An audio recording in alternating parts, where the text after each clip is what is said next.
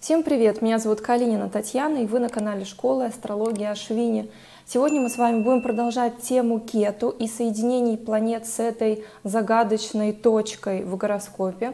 Как вы знаете, Кету не имеет тела, и вообще в целом Кету — это планета без головы. Это отрубленное тело демона или южный лунный узел, по-разному его называют, кто кету, кто лунный узел. И прежде чем разобраться с тем, какие плоды дает соединение кету с Сатурном, нужно в принципе порассуждать о том, что такое кету и что такое Сатурн. Кету — это у нас тело без головы, Сатурн — это у нас тело с хромой ногой, поэтому у вас могут быть хромая нога и отсутствие головы. Это была шутка, конечно. Но на самом деле Кету и Сатурн оба имеют отношение к каким-то физическим недугам. Поэтому первое и, ну, для меня на данный момент главная характеристика данного соединения, потому что я готовлюсь к курсу медицинской астрологии, у меня немножко сейчас сознание повернуто в одну тему.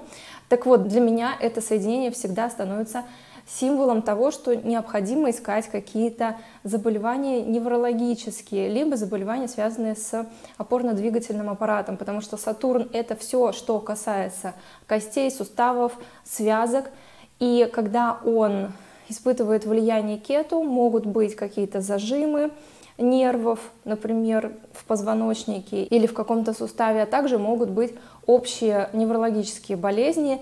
Ну, дай бог, чтобы у вас в гороскопе их не было. Конечно, не всегда это соединение дает какие-то серьезные болячки, но в принципе, если у вас идет период Сатурна или период Кету, который находится вот в этом соединении, некоторое внимание к здоровью точно не повредит, потому что могут быть болезни, которые достаточно сложно диагностировать правильно, то есть человек э, должен долго искать э, лечение к этой болезни, а, не сразу получается ее обнаружить, и эта болезнь может быть связана с нервами или с защемлением этих нервов, а также, ну, конечно, с остальным а, опорно-двигательным аппаратом человека. Далее, так как и Кету, и Сатурн являются вредителями, то, конечно же, попадание этих двух планет в определенный дом дает трудности по каркам этого дома, по определениям этого дома. Если они попали в пятый дом, могут быть трудности с детьми.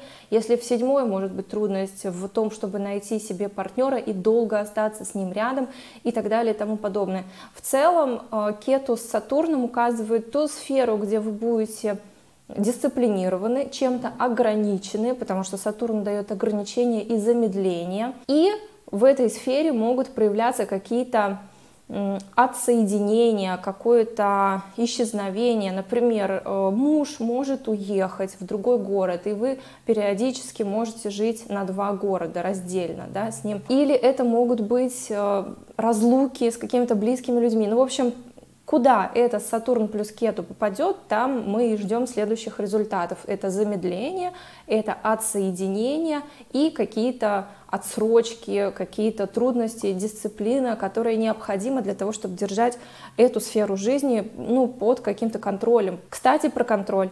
Кету плюс Сатурн дает большой контроль в ту сферу жизни, где они стоят, и человек склонен к гиперконтролю. Здесь астролог может посоветовать клиенту, например, немножко отпустить события в той или иной сфере, ну, смотря где стоит этот а, Сатурн и Кету, и кем управляет этот Сатурн, то есть какими домами он управляет. И человек может немножко отпустить контроль, чуть-чуть скажем так, ослабить хватку, и результаты будут лучше, по крайней мере, они будут менее травматичными, чем а, если держаться за это, как говорит наш президент, синими пальцами держаться за а, президентское кресло. Также это соединение настолько склоняет человека контролировать и изучать какие-то проблемные свои сферы жизни, что у него даже может начаться паранойя, ему будет казаться, что эта сфера жизни она самое главное, она может занять все другие сферы, поэтому, конечно, здесь надо